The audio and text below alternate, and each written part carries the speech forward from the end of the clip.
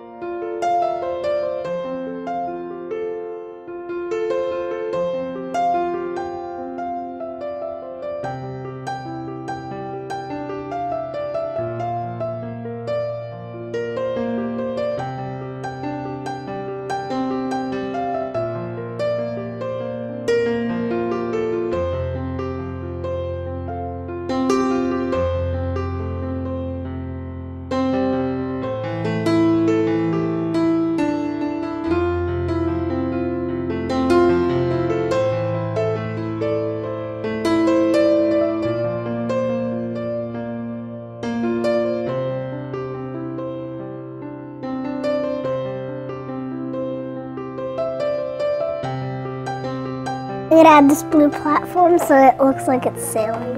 And this is the sea, and you might get these big platforms. We could also add some seaweed, coral, and fishes. I already made this before, so I'm just gonna put it next to it. I already did this, and if you can't tell it's a whale, it is. And there's another fish that's little that you might see in the lots of sets. And I'm gonna put it right back in the ocean. There's mini fish and, it, and it's so tiny that the whale's bigger in it. I'm pretending. Thanks for watching. See you in the next video. Bye. And also, don't forget to subscribe, comment, and like, and share please. Bye.